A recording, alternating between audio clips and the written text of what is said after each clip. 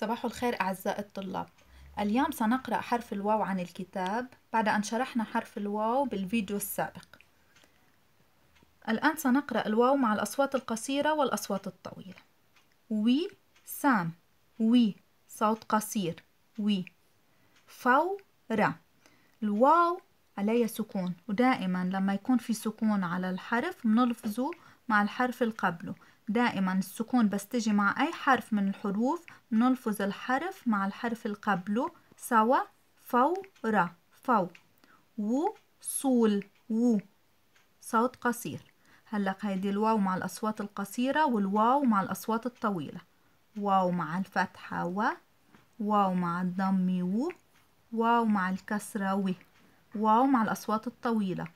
واو مع الصوت الطويل أ و. واو مع الصوت الطويل. و وو هيدا حرف وهيدا صوت. بيشبهوا بعضهم بس واحد حرف وواحد صوت. واو مع الصوت الطويل ي وي الآن سنقرأ المقاطع الصوتية. و وي صوت قصير صوت طويل. و و. صوت قصير صوت طويل. وي وو الآن سنقرأ الكلمات. الواو عليها سكون. دايما بتذكر إنه لما يكون عليها سكون بلفظها مع الحرف القبل. موزة. موزة. ورود. ورود. ولد. ولد. حصل. حصل. ورود. ورود. وصول. وصول.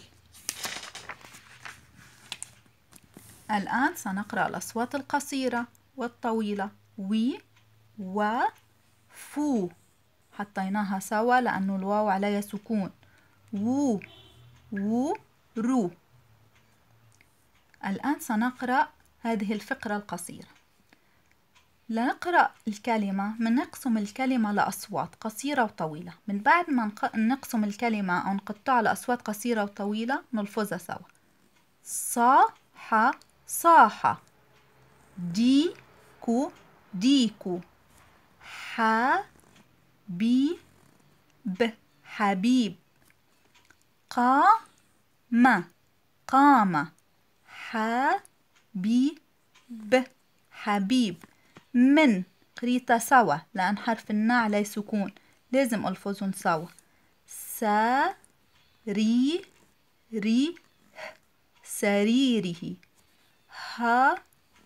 هرب هرب وسام وسام وشادي شادي فورة فورة وصولي وصولي حبيب حبيب حصل حصل. ديكو ديكو. حبيب حبيب. على على ورود ورود.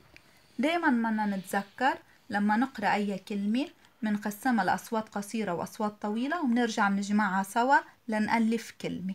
وهيك بنكون قرأنا حرف الواو مع الأصوات القصيرة والأصوات الطويلة.